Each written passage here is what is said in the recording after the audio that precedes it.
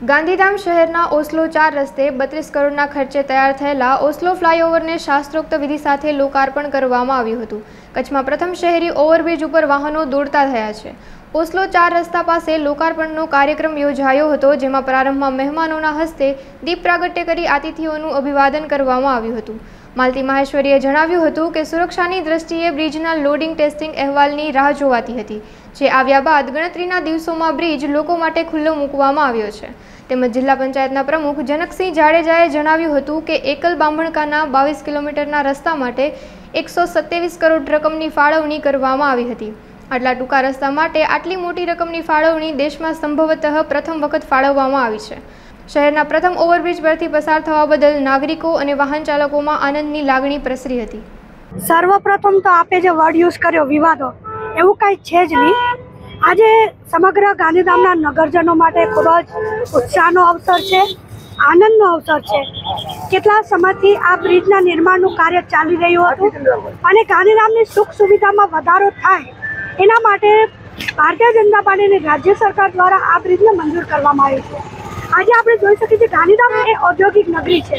અને ઔદ્યોગિક નગરી હોવાના કારણે કેટલાય લોકો અહીં અવર જવર કરતા હોય છે.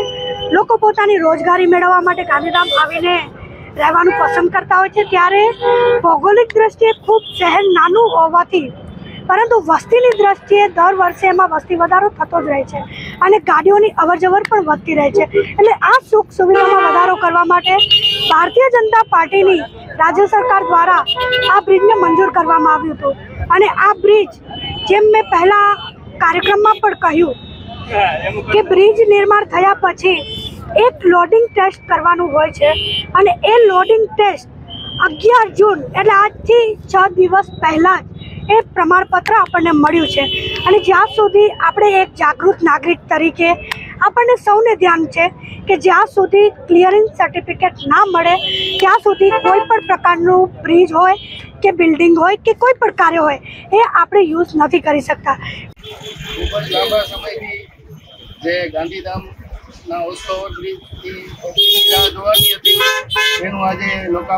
લોકાર્પણ કરવામાં આવ્યું. એ બદલ હું ગાંધીધામની પ્રજાને ખૂબ ખૂબ અભિનંદન આપું છું. અને ગાંધીધામ દેવડા સિટીમાં ગામની વચમાં હોય એવું મને લાગે છે કે આ પહેલું સિટી છે. એના માટે હું સરકારને પણ ખૂબ ખૂબ અભિનંદન આપું છું કે બત્રીસ કરોડ જેવા ખર્ચે આજે ગાંધીધામમાં બ્રિજ બનાવવામાં આવ્યો. ગાંધીધામમાં આપણે જોઈ શકીએ છીએ કે ટ્રાફિકની ઓસ્લો પાસે ખૂબ જ સમસ્યા રહેતી હતી. તો આજે ઓવરબ્રિજ બનવાના કારણે આથી એ સમસ્યાનું સમાધાન થઈ શકશે અને લોકોને સુવિધામાં વધારો કરવામાં આવ્યો છે ને આપણે ટ્રાફિકમાં અત્યારે હવે ટ્રાફિક જે જામ રહેતો હતો સાંજના અને સવારના ટાઈમે તે હવે લોકો એના સમયનો બચાવ થશે અને ટ્રાફિક ક્લિયર રહેશે. કારણ કે જ્યારે સમાજમાં તકલીફ હોય ત્યારે જાગૃતિ વકીલ જ લાવે છે. અને ગાંધીધામ બાર એસોસિએશનને એવું લાગ્યું કે આ કોઈ પણ કારણસર પુલ બંધ છે, તો એ પુલ શરૂ કરાવવા માટે કોઈ કાર્યવાહી કરવી જોઈએ.